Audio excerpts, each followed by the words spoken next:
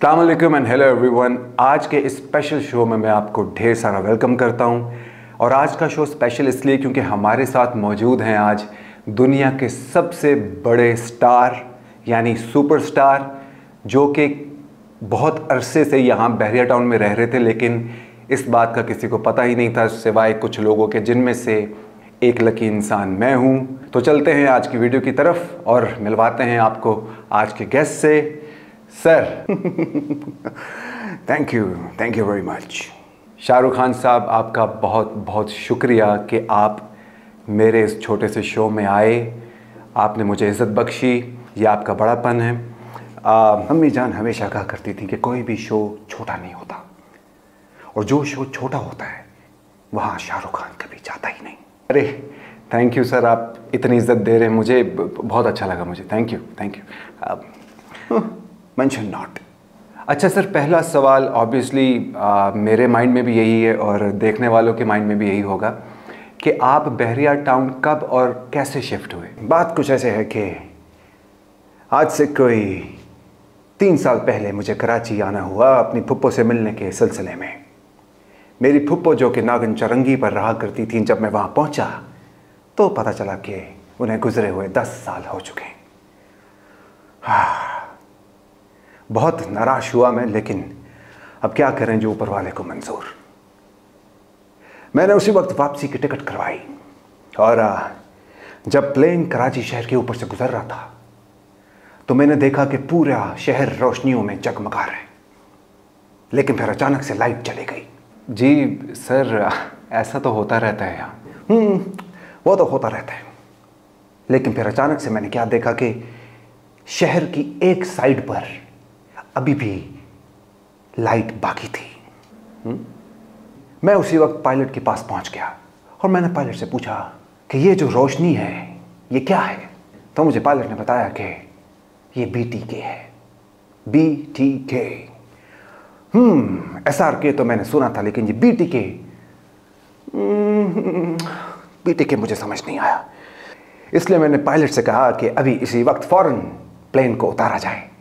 क्योंकि मुझे बेटी के जाके देखना है। फिर क्या हुआ सर? फिर क्या होना था? एयरपोर्ट से बाहर निकले तो हमारे पास दो रास्ते थे। एक सोराब कोट वाला और एक मलिर कैंट वाला। मलिर कैंट वाला थोड़ा सा छोटा है। तो हमने वहाँ से सफ़र शुरू किया और कुछ ही देर में हम लोग हाईवे से होते हुए बहरिया टाउन पहुँच गए। मगर हम जब रास्ते में थे तो मैंने ज़मीन डॉट कॉम पर ही स्पोर्ट्स विलास में एक घर रेंट पर बुक कर लिया।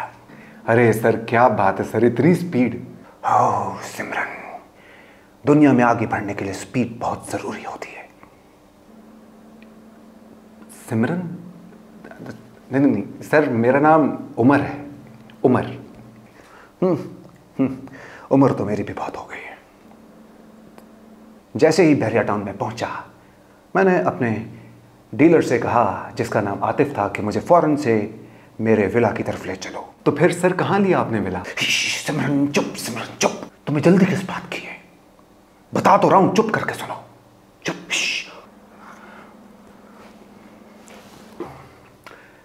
तो एजेंट मुझे मेरे विला पर ले गया, और क्या ही शानदार किस्म का विला था।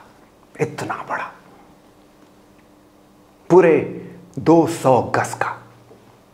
और तुम जानती हो अंजलि, उसका रेंट क्या था? हम्म?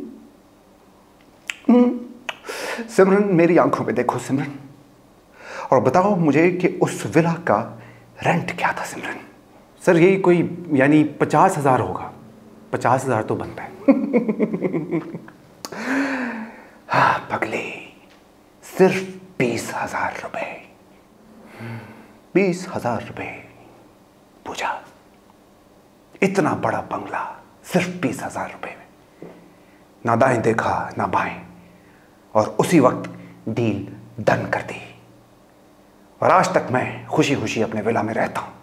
किसी किस्म की कोई प्रॉब्लम नहीं है मुझे। अरे वाह, सर, ये तो कमाल हो गया। यानी I am I am really really very happy for you sir thank you Rahul thank you नहीं नहीं सर, राहुल भी चलेगा। हाँ नो प्रॉब्लम तो सर आप इतने अरसे से बैरिया टाउन में रह रहे हैं तो आपका एक्सपीरियंस कैसा रहा यहाँ रहने का? ये प्लीज़ बताइएगा। हम्म, कमाल का एक्सपीरियंस कमाल का। चौबीस घंटे पानी आता है बिजली आती है लेकिन अगर कोई नहीं आता तो वो सिर्फ़ एक काम वाली है। काम वाली का बैरिया टाउन में मिलना थोड़ा मुश्किल है। खैर सारा दिन यहाँ से वहाँ मैं फिरता रहता हूँ विदाउट एनी वजह। कभी गाड़ी में कभी पैदल। ना मोबाइल चोरी होने का डर और ना ही किडनैप होने का डर।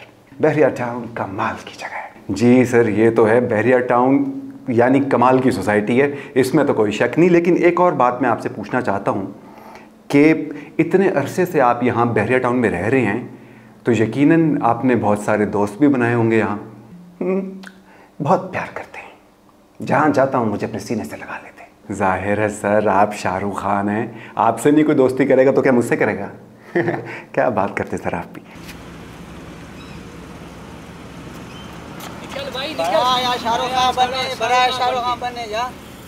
और मैं भी अपनी बाहों को खोल के अपने सिग्नेचर स्टाइल में पूरे बहरिया को अपनी तरफ़ बुलाता बहरिया बहरिया आ आ सर, एक बड़ा ही इंटरेस्टिंग पॉइंट है। आपने अपने डीलर का नाम बताया, आतिफ। तो आतिफ का सुन के मेरे जहन में एक सवाल आया कि आपने कभी अपनी फ़िल्मों में आतिफ को एज अ सिंगर नहीं इस्तेमाल किया? यानी आपकी फ़िल्मों में आतिफ का कोई गाना देखने को नहीं मिला? तो इसकी क्या कोई ख़ास वजह है? बात कुछ ऐसी है प्रेम के, यार। जब मैंने ये विला लिया रेड पर तो तब थ्री प्लस थ्री चल रहा था। यानी थ्री प्लस थ्री यानी तीन महीने का रेंट और तीन महीने का सिक्योरिटी डिपॉजिट और फिर उसके बाद मुझे डीलर की कमीशन भी देनी पड़ी। तकरीबन डेढ़ लाख रुपए का मुझे ये विला पड़ा। और आतिफ असलम देता है तकरीबन दो लाख रुपए एक गाना गाने के तो अब मेरे पास सिर्फ़, यानी पचास हज़ार रुपये पड़े थे, ज़्यादा पैसे मेरे पास थे नहीं। इसी वजह से आतिफ को मैं अपनी फ़िल्म में नहीं ले सका। वो तो ठीक है सर, लेकिन आप तो शाहरुख खान हैं। S R K from India the biggest actor in the world और आपके लिए दो लाख रुपए क्या मायने रखता है? मायने रखता है राज। मायने रखता है। क्योंकि पाकिस्तान के जिस तरह के हालात हैं, हम सभी यहाँ पर गरीब हैं। मैं भी मैं भी गरीब हूँ राज पाकिस्तान में। गहरी बात। चलें sir I I I seriously I wish you all the best आप जब तक यहाँ बहरिया टाउन में रहें ऊपर वाला करे कि आपका ये जो स्टे है, यहाँ पर ये बहुत ही शानदार हो। और इन केस अगर कोई प्रॉब्लम होती है तो आप मुझे बता सकते हैं। बहरिया टाउन की मैनेजमेंट को बता सकते हैं। और वैसे भी स्पोर्ट्स विलास में तो और भी बहुत से एक्टर्स रहते हैं, जैसे इकरा अज़ीज़ हारिस वहीद शमून अब्बासी आप उनको भी बता सकते हैं, वो तो आप ही की फ़ील्ड के हैं।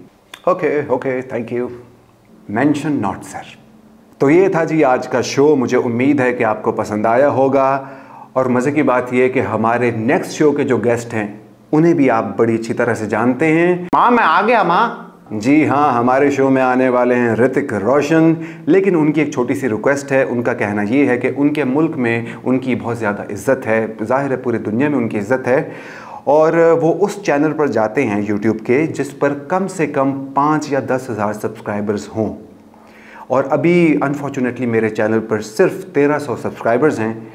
इसलिए अगर ये क्या बात हुई, किरण? मैं भी तो इस शो में आया हूँ। मेरी कोई इज़्ज़त नहीं है क्या? नहीं नहीं, सर, ऐसी बात नहीं है। आप फजूल में नाराज़ हो रहे हैं। दरअसल सीन ये है कि आप तो बहरिया टाउन में रहते थे। तो आपको अप्रोच करना, इस इस स्टूडियो में लेकर आना थोड़ा आसान था। अब ऋतिक रोशन साहब कह रहे हैं कि उन अगर पाँच हज़ार या दस हज़ार सब्सक्राइबर्स होंगे वो तभी आएँगे। अब आप बताएँ मैं क्या करूँ? माँ मैं वापस जा रहा हूँ माँ। अरे चुप कर जाए यार अभी तो तू आया भी नहीं है और जाने की बातें कर रहा है।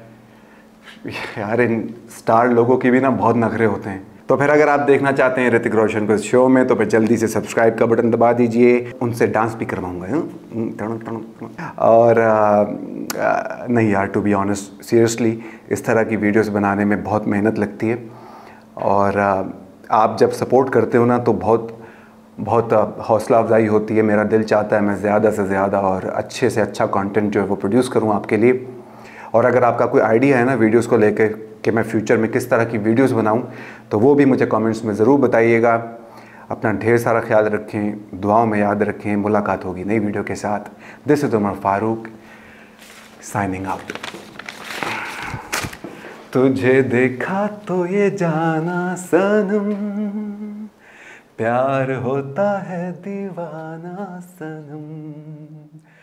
अब यहाँ से कहाँ जाए?